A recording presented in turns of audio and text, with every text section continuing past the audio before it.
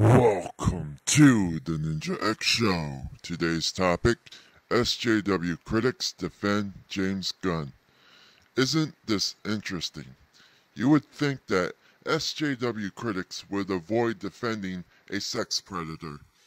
But when it comes to Marvel and Disney, they white knight for James Gunn.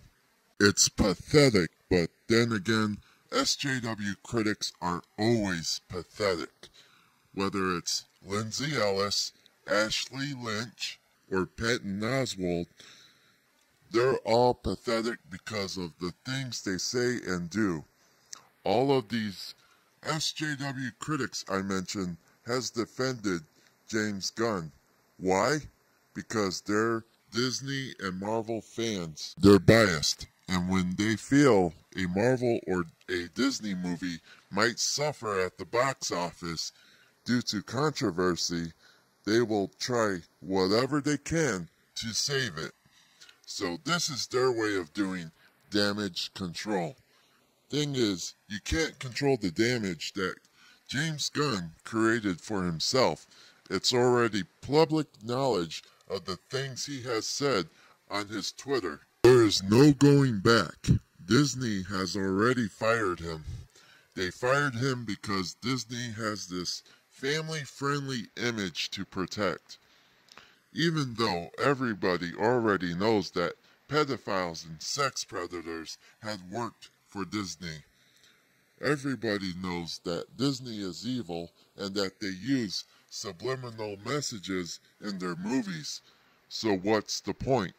Well, obviously Disney had no choice, and despite what people already know, Disney does have a family-friendly image to protect.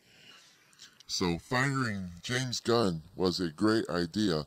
With that said, I find it hypocritical for SJWs to defend James Gunn, since they're using the excuse that what he had said was in the past and that people should move on.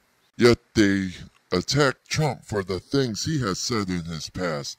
I'm no fan of Trump by any means, but I acknowledge how much of a hypocrite SJWs are.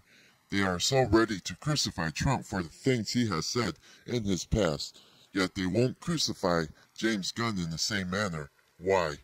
It's probably because James Gunn is a liberal. Or maybe James Gunn is a director of a Marvel property, and that him getting fired could potentially damage the box office numbers to Galaxy of the Guardians 3. SJWs are very protective of Disney and Marvel, yet they bash Warner Brothers and DC Comics. You see, you can't trust these SJW critics. They have no integrity. They are full of shit. They are biased.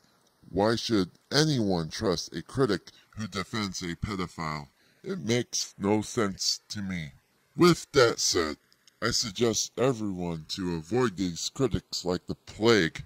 There's no need to have them make any money on the ads that they run on their videos. That's all I have to say. Tune in next time for more truth, logic, and common sense.